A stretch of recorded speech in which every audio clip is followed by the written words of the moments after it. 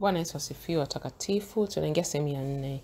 Tunaendelea tena kwa mtu anayesikiliza hii uh, message kwa mara ya kwanza. Nia yetu ni kuwapa watu wa Mungu information za kuwasaidia siku hizi za mwisho kuzijua hila za yule mwovu, kujua vitu vya kurekebisha katika maisha yetu, hasa kina mama. Huyu mama ana mafundisho kadhaa ya kuwafundisha wakina mama kwa nini watu wa Mungu watu wanafundisha vitu fulani fulani kwa kina mama, jinsi gani uangalie mtoto wako dalili zinazoendelea ujue kuna tatizo, jinsi gani ujue haleluya katika maisha yako maisha familia yako. Hasa kuna kina mama ambao bahati mbaya labda wa baba, niseme sio bahati mbaya, imetokea tu eh, ni neema, una ndoa lakini mume wako labda bado hajapokea neema ya wokovu jinsi gani ukae kwenye, ukae kwenye, kwenye, kwenye ndoa hiyo ili na wewe pia usije ukajikuta umepoteza uokovu wako na ukienda mbele za Mungu unakosa kuingia jehanamu, kwa sababu shetani anatumia hila hiyo sana. Kwa hiyo bado tunaendelea kujifunza kuhusu maisha yake huyu mtumishi wa Mungu anayefundisha watu mbinu na hila za yule mwovu na jinsi ya kushi, kumshinda shetani, Mama Julia Lopez. Karibu tuendelee na sehemu ya nne. Unasema ulikuwa na kiongozi wa kiroho. Sisi tunajua kuna malaika, watu wa Mungu protected in Psalm 91, tunajua um, wanalindwa so na like malaika kama Zaburi tisini na moja. uh, Je, ni, ni kama wanakopi hivyo kwa huyo kiongozi wako mlinzi wako wa kiroho? Unajua, tunapokuwa eh, Wakristo tunakuwa na Roho Mtakatifu. Roho Mtakatifu ndio anayetuongoza anatuongoza, anatufariji, anakuwa kama rafiki yetu wa karibu. Tuna ukaribu, uhusiano wa karibu naye. Ndiye anayetuambia tufanye nini, maamuzi. Yeye ndio ndiyo anafanya hivyo. Kwa hiyo kule kwa upande wa giza wanakopi kitu kama hicho. Kwa hiyo anakuwa kama roho anayekuongoza wewe kwa karibu, unamwomba anakuongoza, unampa ruhusa, unamwomba ruhusa kufanya hiki na kile. Mm -hmm. Sitaki kulinganisha kwa sababu hakuna kitakachoweza kulinganishwa na Roho Mtakatifu, lakini ni kitu wanajaribu kukopi, spirit na wapi wanayo mapepo yanayoongoza hivyo. Kwa hiyo tunajua shetani anapenda sana kukopi. Hebu tueleze nini kilitokea kwenye nyumba yenu? huyu uh, mchawi wa giza anaitwa Black Witch alipokuja kwenye nyumba yenu na familia yenu. Basi mimi nilianza kuwa na roho ya kutamani kujiua sana. Kila mara natamani kujiua, natamani kufa. Nikaanza kunywa pombe sana. Unajua, familia yangu walikuwa wanaenda kazini muda mrefu, mama yangu alikuwa kazini. Kwa hiyo baada ya shule nilikuwa nakunywa pombe sana, nikawa na hiyo depression, msongo wa mawazo, mambo ya kunywa pombe, ulevi. Nikawa natamani kujiua, mara kadhaa nijaribu na mambo kwenye nyumbani kwetu ikawa ni vitu giza, ugomvi, magombano. really eh, eh, kulikuwa kuna. So hali ya hiyo ilikuwa nzito sana kiroho. Kwa hiyo siku moja huyo mchawi wa- giza akaja akaniambia mimi na mama yetu, kwa nini tusifanye tambiko kwa hii nyumba yenu like kwa ajili ya kuongea na mapepo kuhusu future zetu. We Tulisimama kwenye mzungu, tulikaa kwenye. Mzunguko. Unajua mzu, started in a kukaa kwenye mduara ina maana umoja, makubaliano, na wachai wawili watatu wengine wakaanza kama kunena kwa lugha ili kuingia katika ulimwengu wa roho. Tukaanza kunena kwa, kwa, kwa, kwa, kwa lugha nyingine, mapepo yakaja yakamwingia huyo mchawi, akaanza kusema kwa mama yangu. Hilo pepo likaanza kusema mtu katika nyumba yenu hii atakuja kufariki baada ya wiki moja. Baba akashtuka. Sasa mimi nilikuwa najaribu kujua mara kwa mara kusema, au ni mimi nini? Hilo lipepo likaanza kuuliza, unataka kumjua ni nani? Unataka kumjua ni nani? Nikamwambia mama yangu, hapana, hapana, funga hii kitu, acha hii kitu, sitaki kujua, tutaki kujua. Tukamaliza, tukakatiza, tukaondoka. Kuanzia wakati huo nilikuwa ninaishi na huyo mchawi kwa sababu nyumbani kwangu ugomvi ulizidi, nilikuwa naishi naye, kulikuwa kuna ugomvi, tamani kujiua, just roho nzito. Kaenda naye nyumbani kwake, tukaendelea, ananifundisha mambo mbalimbali, matambiko. Kilichotokea siku moja, wiki moja baada ya hiyo tambiko, mama yangu akampigia simu, mama yangu akampigia simu hiyo mchana saa kumi na moja asubuhi akamwambia hebu njoni haraka sana kuna kitu kimetokea. Tukaenda. alikuwa ana tabasamu fulani usoni mwake. Sikuelewa kwa nini anatabasamu kuna mwanangu mdogo wangu wa kiume mdogo alikuwa na miaka miwili. Alikuwa analia sana. alikuwa analia sana. na mama yangu alikuwa analia sana. sema kuna nini kimetokea? mama yangu alikuwa awezi hata kuongea nini kimetokea nikaingia ndani ya nyumba. nikakuta hewa, hali ya hewa nzito, yani nzito mpaka inabidi uiname, yani kama kitu kina ku zito, mgongo unakuwa mzito. Nikawaza baba yangu labda ameondoka, maanake ugomvi ulikuwa umezidi kati ya baba na mama. Nikajua basi baba hatuacha, wameachana na mama. Nikaona taa ilikuwa inawaka. chumbani kwao hayupo, hakuna mtu, ila hewa ni nzito sana, kabidi nitoke nje. Hali ikuwa mbaya sana, nikageuka kushoto, kulikuwa kuna jengo fulani la storage la store. Nikafungua mlango, baba yangu amejinyonga kwenye kile kibanda cha storage. Kuanzia wakati pale nyumba yangu ili familia yetu ilivunjika moja kwa moja. Wakati huo, samahani, mdogo wangu wa kiume alikuwa na miaka kumi na moja alivyokuja akapata hasira, iyo roho ya hasira ilimkamata. hata kulia hakulia. Familia yangu ilisambaratika kuanzia hapo.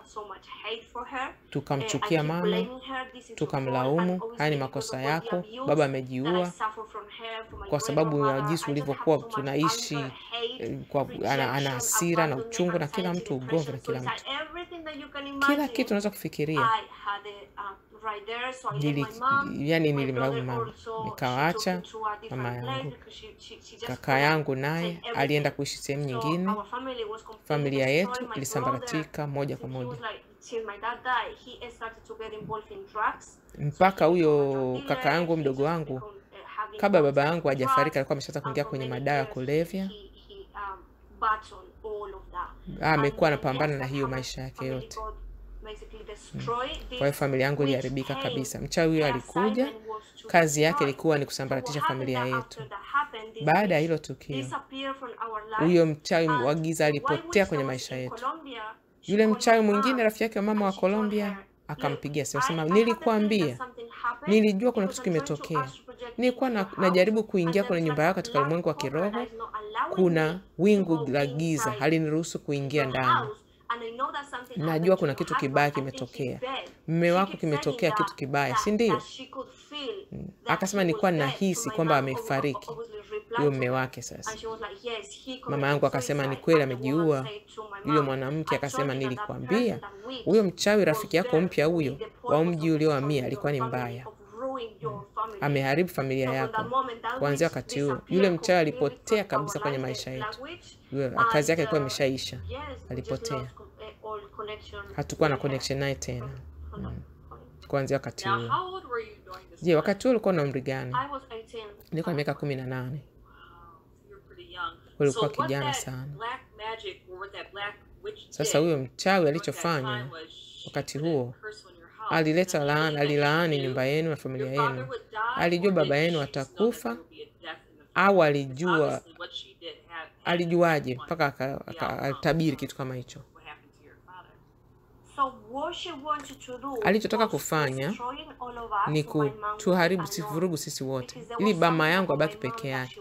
Kuna kitu alikuwa anataka kutoka kwa mama yangu. Alitaka awe peke yake. hata baada ya mama kufariki. aliwambiwa "Wait, I aliwaambiwa just wachawi want wengine nataka huyo mama yake alimtaja jina Dus awe peke yake.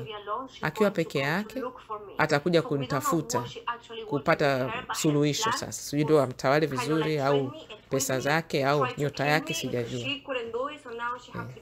Ibidi afanye vile, aharibu huyo mume ambaye ni kichwa cha familia. Mm. Baada ya baba kufariki, ndio nilizidi kujaribu kujiua, yaani mpaka nimeshindwa kuhesabu ni mara ngapi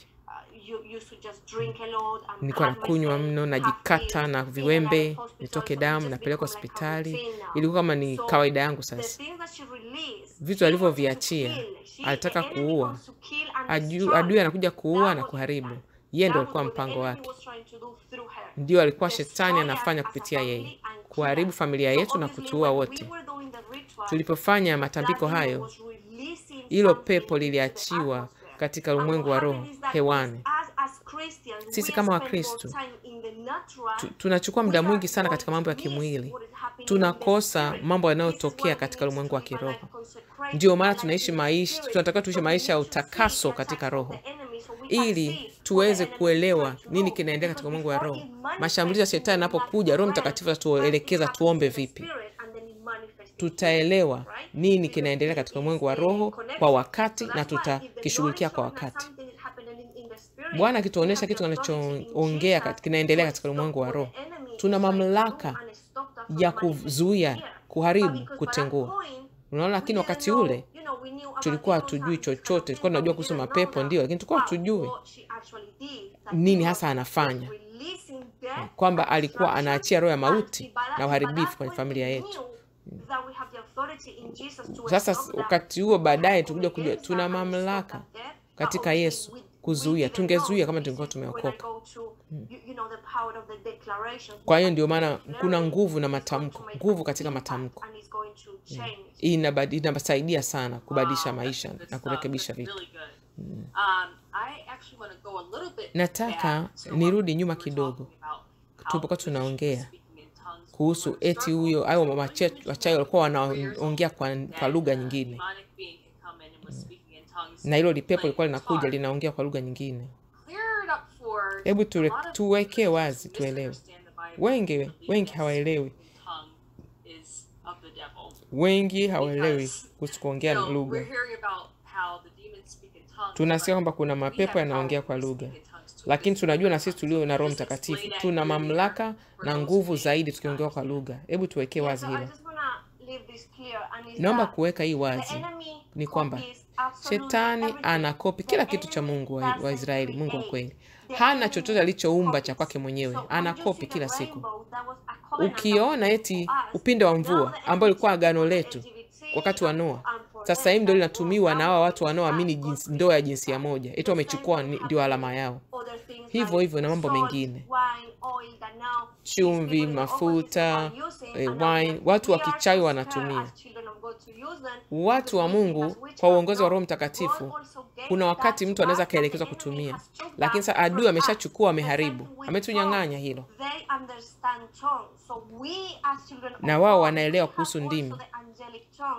Tuna ndimi za malaika, ndimi za mbinguni kupitia Roho Mtakatifu kuconnect na kule mbinguni ambayo shetani hawezi kuelewa. Kwa kuna dini zingine, makanisa mengine wanasema eti kusema ndimi, kunena kwa lugha ni kwa shetani. Kuwa mwangalifu, shetani anataka tu apate nafasi kuvuruga watu wa Mungu. Ukienda kinyume na Roho Mtakatifu, tumeambiwa dhambi ya kumkufuru Roho Mtakatifu, hatutasamehewa. Chunga sana ukiona mtu anaongea nena kwa lugha na ameokoka, ukasema ni pepo, umemkufuru Roho Mtakatifu. Ina maana unaita Roho Mtakatifu ni pepo. Ndiyo, adui wanaongea kwa ndimi zao za uovu. Sisi kama tuliookoka tuna uwezo wa kuonena kwa lugha, na shetani anakopi chochote kutoka kwetu kwa wale wanaosema ndimi ni mbaya, ninakushauri omba, tubu, kwa maana inawezekana umemkufuru Roho Mtakatifu. Sasa umezungumzia chumvi.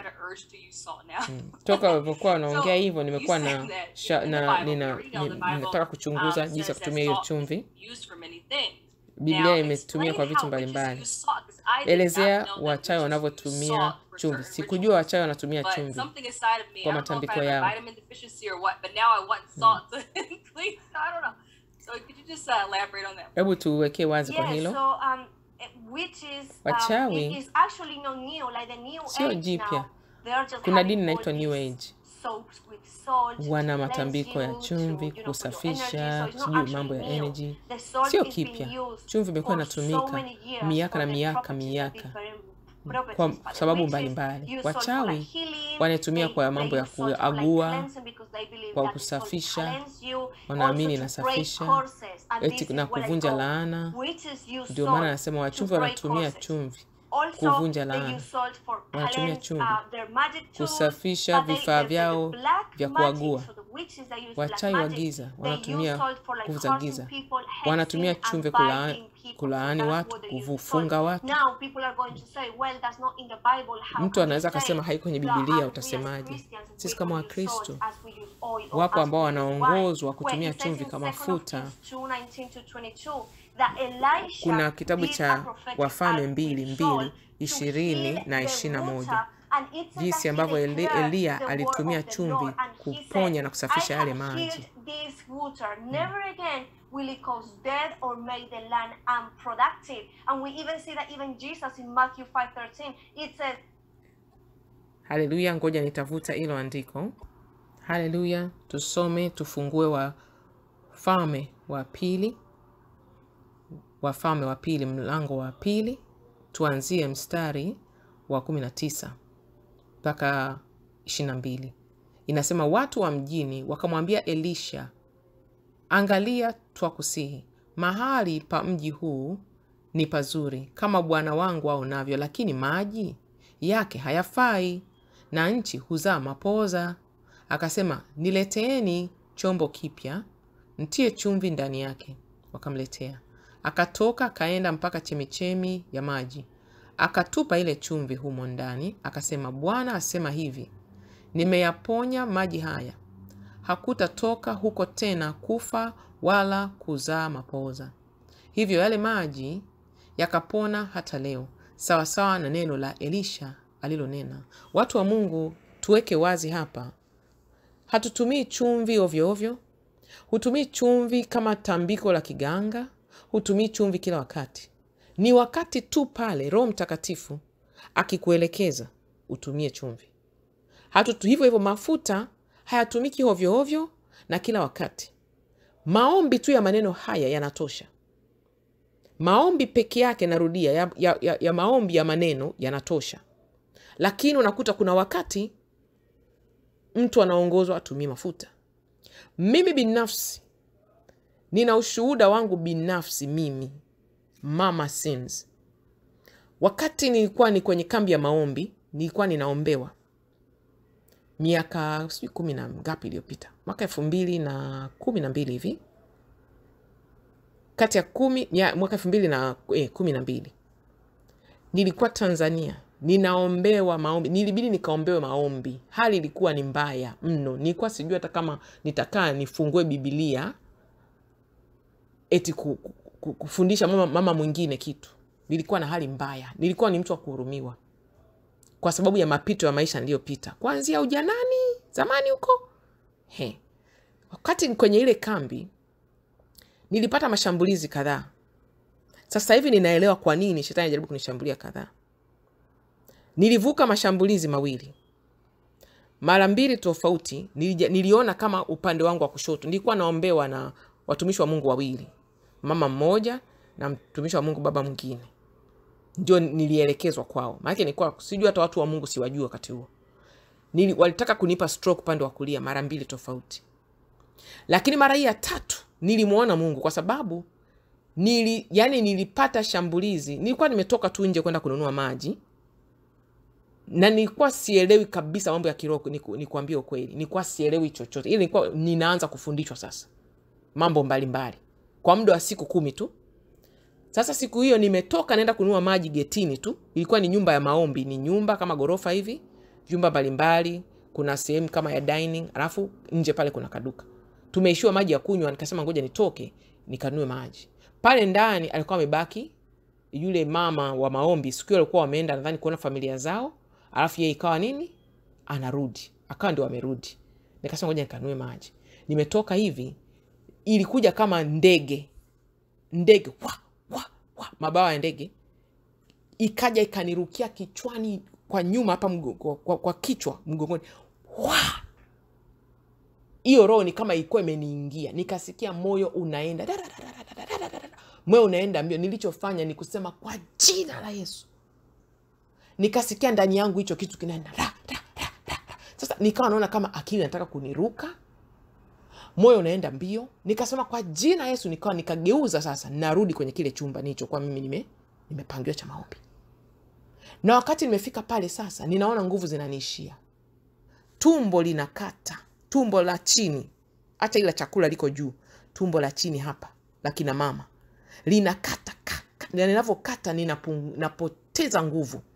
Nasikia sauti inaniambia rohoni chochote unachofanya usifunge macho wala usilale yule mama wa watu alianza kuniombea. Alianza kuniombea. Anasema baadaye anasema sasa binti wa watu huyu mimi kwao ilikuwa ni dar es salaam ninapigaje simu kuambia kwao nini kimemtokea? Niliombewa aliniombea. Nadhani ile hali nikaa nayo kama dakika kumi na kumi na tano hivi navyokumbuka mungu aliruhusu nipitie kile kitu. Halafu yule mama akapata ufunuo wa roho mtakatifu. Yale maji madogo yalikuwa yamebaki chupa nadhani ya kilimanjaro sijui ni ya dasani au ni ya nani. Ilikuwa less than nusu chini ya nusu ya maji. Roho wa mungu alimuongoza ayaombea yale maji yageuke kuwa damu ya yesu anipe ninywe. Mimi nika na, kila tone ninalokunywa navyomeza tumbo linapunguza kukata. Tumbo linapunguza kukata napata nguvu. Pung, tu, tumbo linapunguza kukata. Tumbo liliacha kile kitu kikaacha cha moyo kwenda mbio na ninakwambia nitoka kwenye ile kambi nimefunguliwa. Na ninakumbuka mojawapo ya maelekezo niliyopewa. Niliacha dhahabu zote nilikuwa ni mtu wa kuvaa madhahabu sana. Niliambiwa zote niachane nazo. Na niliambiwa niache mawigi. Hivyo viwili. Na nikaambiwa kwa muda niache kusuka. Yaani niache sio kwa muda. Niliambiwa niache kusuka. Kwao nilivyorudi mimi kwa usalama tu nilikata tu nywele. Nianze upya. Niliamua tu nikakata nywele nikaanza upya nilikuja kusuka huwa anasemaga ushuhuda nianza kusuka nilivyoolewa na mtumishi wa mungu huyu. Kwa sababu alikuwa mimi sasa sijapata neno kuhusu utakatifu wala nini bado nilikuwa sijapata. Nimesikia mafundisho ya utakatifu vizuri kabisa serious mwaka jana. Kwa hiyo yeye alikuwa ah, anapenda uafrika. Ndipo nilizidi kusuka wakati huo. Lakini sasa hivi nimefanya nini? Nimerudi sasa tena kule. Kwa hiyo ninazungumzia kutumia maji kutumia mafuta. Roho mtakatifu anaweza kukuongoza. Ushuhuda mwingine nilishautoa tulivyokuwa ndio tumeoana tu tulizwa kwenye huduma kwenye nyumba fulani vijana. Vijana tu ndo wachanga watoto wadogo. Walikuwa wanagombana wanataka kuachana. Huyu mtumishi wa mungu nimekuta kanisani kwao mpaka leo mpaka leo wanatumia mafuta. Yani dhehebu lao. Kwa hiyo yeye tulienda na mafuta kwenye ile nyumba tukawashauri tukaomba nao alafu mtumishi wa mungu mume wangu akaongozwa kuombea ile nyumba aliombea ile nyumba anatumia mafuta kwa jina la yesu tunaweka alama ya msalaba kwa jina la yesu milangoni vilindi vya milango madirishani kuta na sehemu- sakafu kila sehemu alikuwa anaongozwa. Tulivyoenda juu vyumbani vya kulala alie, alienda kwenye kona. Sasa baadaye akawa anasema nashangaa roho wa mungu ameniongoza hajawahi kuniongoza kitu kama hiki. Nilikuwa naongozwa roho wa mungu anasema anoint kona weka upako kwenye kona. Mimi nikamwambia sinatoka afrika ninaelewa wachawi wanaingia kwenye kona? Nikamwambia inawezekana kwa sababu mimi navyoelewa wachawi wanapenda kuingia kupitia kona. Kwa hiyo ninazungumzia tena mafuta maji na vitu kama hivyo. Wacha roho mtakatifu akuelekeze ila tutumii kama tambiko. Kuna watu wengine wameokoka asubuhi ana anoint watoto wake ana anoint mke wake anajianoint katika ibada wanatoka wana, wanaomba ibada yao ya asubuhi wanaenda kuna watu wamezoea kufanya hivyo.